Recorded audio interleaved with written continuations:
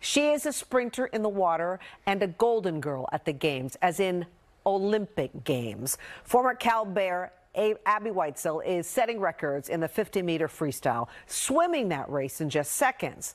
These days, she's got two big events on her mind as she spends hours practicing at her alma mater. Swimming into her third Olympic Games, Abbey Weitzeil will be the veteran female swimmer on Team USA.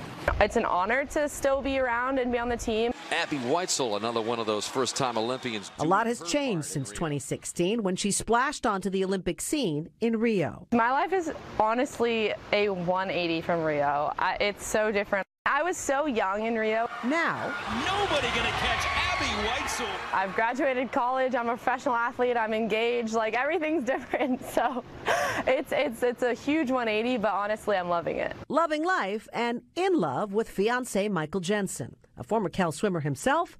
He gets the grind of Olympic life. He understands what my daily life is. He understands like the tiredness. He understands how, you know, my recovery is so important. With UC Berkeley and Team USA coach Dave Durden pushing Weitzeil to be her best. The level of excellence and the level of expectation of excellence here is what makes us so good. You have a coaching staff that expects you to be excellent in any aspect of your life. Weitzeil looking pretty good down there in lane five. A two-time Olympian is looking forward to bringing home more hardware. Oh, I'm so excited about Paris. I love Paris.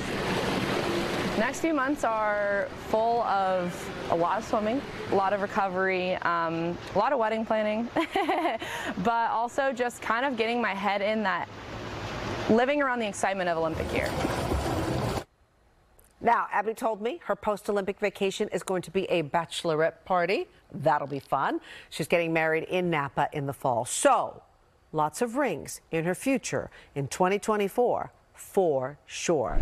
And I'm going to be there with her. NBC Bay Area is your home for the Olympics. It starts July 26th. I'll be there. I'm going to bring you all the coverage. Hopefully, I'll be there with Abbey.